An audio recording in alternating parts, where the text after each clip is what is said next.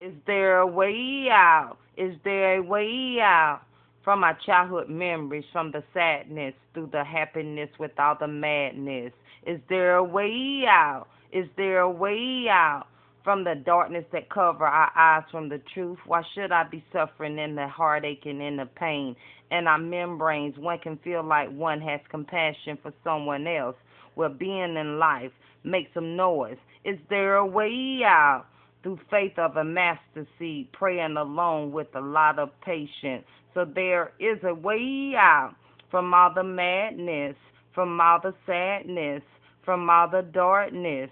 Jesus Christ paid the price for the world. So there is a way out. Believe in Him.